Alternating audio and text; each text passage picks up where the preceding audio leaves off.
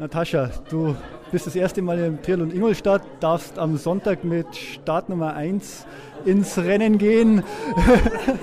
ist das eine große Bürde für dich, beziehungsweise ja, mit welchen Erwartungen gehst du hier an den Start? Ich finde das eine wunderschöne Ehre, besonders ich habe ein neues Fahrrad. Jetzt bekommt mein neues Fahrrad in meinem ersten Rennen die Nummer 1. Was für eine Ehre, das freut mich ja unheimlich. Ich empfinde es als großartige Auszeichnung. Wir kennen dich nur eigentlich mit deinem alten Fahrrad, mit dem Cheetah. Äh, mit was bist du jetzt unterwegs, auch mit der neuen Technik? Äh, ich sage jetzt mal ein Cheetah Neubau. Das Fahrrad heißt Ventum und ich durfte mein eigenes Design drauf machen. Und jetzt habe ich da für jeden Hawaii-Sieg eine Blume drauf. Also ich habe jetzt ein Fahrrad mit sechs Blumen. Und äh, ja, das ist natürlich etwas ganz Spezielles für mich. Ich habe all die Jahre mit meiner Cheetah gefahren und jetzt habe ich gesagt, es ist nötig, dass die Cheetah pensioniert wird. Also die geht in Ruhestand. Ich überlege mir da noch einen guten Platz dafür oder was wir damit machen, guter Zweck oder Versteigerung oder irgendwas, eine Charity, irgend sowas wird es noch geben. Jetzt haben wir gehört, du hast äh, zuletzt äh, Probleme mit der Schulter äh, gehabt. Inwieweit kann das dich am Sonntag im Rennen behindern? Das kann meine Leistung am Sonntag insofern behindern, dass wenn es mir zu stark wehtut, werde ich einarmig schwimmen weil ich war jetzt im Trainingscamp und da konnte ich auch nicht schwimmen. Ich war zwar im Wasser, aber ich habe einfach mit meinem rechten Arm geschwommen, weil ich nicht will, dass die Schulter überlastet oder sich entzündet. Ich weiß, wie lange das gehen kann. Ah, das ist ein ewiges Theater und das wollte ich, der, ich tue das der Gesundheit nicht mehr an. Und ich, ich mache jetzt die Rennen aus Freude. Ich will das genießen. Ich finde es großartig, dass ich hier sein darf und starten kann. Ich bin nicht mehr so schnell wie früher und ich habe aber auch den Ehrgeiz nicht mehr. Und darum, wenn ich mit der Schulter jetzt, wenn das zu fest wehtut, werde ich eben einarmig schwimmen. Macht, macht nichts. Läuft die Stoppuhr dann noch mit? Die Stoppuhr, ich hatte auf die ganze Zeit in meinen Jahren auf der Cheetah die erste Uhr, die ich in Hawaii gewonnen habe.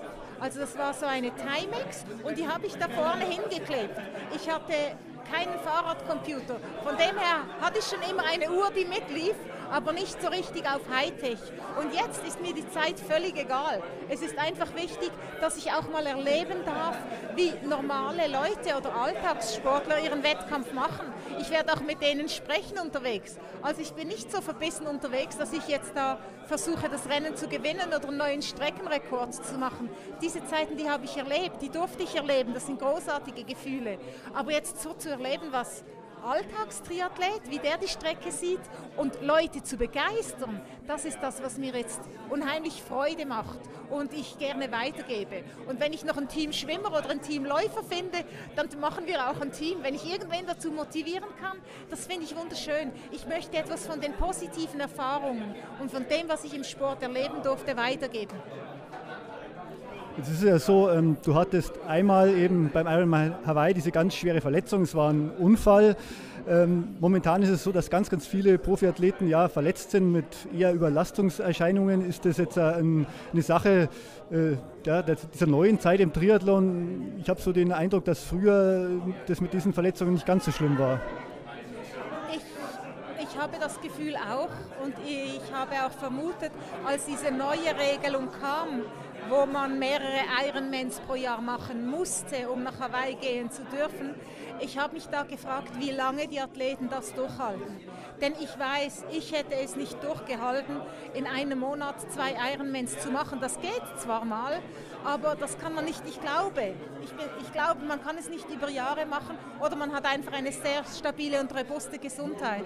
Aber ich weiß aus meiner Erfahrung, ich habe meinen Körper ich, zum Glück, ich hatte einen guten Trainer dahinter. Der hat immer gesagt, du brauchst Regeneration. Auch wenn ich das Gefühl hatte, ich will ein nächstes Rennen machen, da hat er gesagt, es gibt die nächsten drei, vier Monate kein Rennen. Und ich glaube, das war einer von den Gründen, der mir erlaubt hat, 30 Jahre in dem Sport, in dem Sport dabei zu sein und das nicht mit Überletzungsverletzungen oder ja, Überlastungsverletzungen, sondern halt mit einem Sturz, der ein bisschen unglücklich ausgegangen ist und sonst wäre wär ich nie verletzt gewesen. Jetzt in Ingolstadt. Du hast gesagt, du willst äh, Freude haben. Äh, ich denke, der Veranstalter, der Gerhard Budi, hat dir einiges über das Rennen erzählt. Auf was bist du besonders gespannt? Ja, also ganz besonders ist es mal diese Stimmung. Ich bin in Hawaii auch mit zweieinhalbtausend Athleten am Start, aber da ist der Fokus so intensiviert, das ist schon mal was ganz anderes, als hier einen See zu haben, eine ganze Area zu haben, die doch schon sehr persönlich ist. Und dann die Landschaft, die soll ja einfach großartig sein. Ich kenne es nicht, aber ich habe jetzt noch ein paar Tage Zeit. Zum Glück ist die Pressekonferenz so früh. Ich werde die morgen anschauen gehen. Zwei Runden um den See. Ich glaube, für die Zuschauer ist das großartig. Und mein Partner wird auch mitmachen am Wettkampf. Also sind wir wieder bei den familiären zurück. Mal schauen, wer zuerst im Ziel ist. Auf der Radstrecke gibt es eine kleine Bergwertung. Würdest du da versuchen, besonders schnell hochzufahren? nee, nee, da, da, kann mich, da kann mich nichts locken. Ich weiß noch früher in, am Powerman in Zofingen, da hatten wir diesen steilen, steilen Berg und da gab es immer eine Bergwertung. Und ich habe gesagt, wisst ihr was, ihr könnt sie haben, ich mache mich da nicht kaputt. die Strecke, die dauert etwas länger. Ich werde da mein Tempo hochfahren, so Zwischenwertungen Danke fürs Interview, Natascha, und viel Spaß am Sonntag hier in Ingolstadt. Vielen, vielen Dank. Ich hoffe, es schauen viele zu und kommen viele vorbei. Danke dir.